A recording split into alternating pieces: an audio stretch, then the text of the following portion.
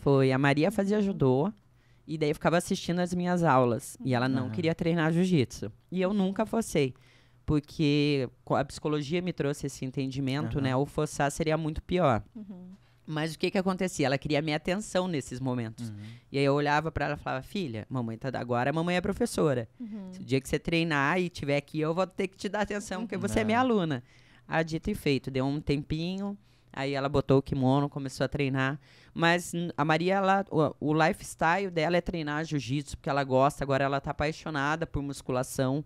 Mas eu não, não cobro ela ser alguém dentro do jiu-jitsu Ah, né? Tipo, ser atleta ou um dia dar aula. Eu deixo a minha filha muito livre para fazer as escolhas dela. Eu entendo que eu tô criando ela pro Uhum. mundo.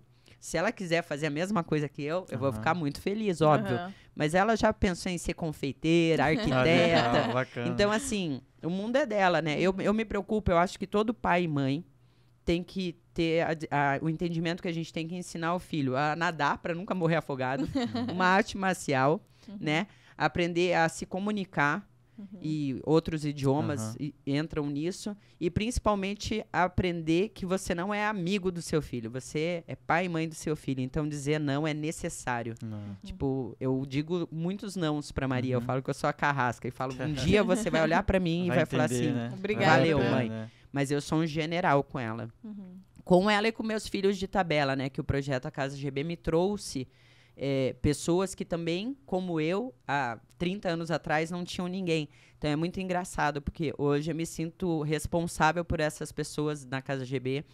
E também sou mãe zona carrasca, assim, sempre chamando atenção, educando, botando no caminho.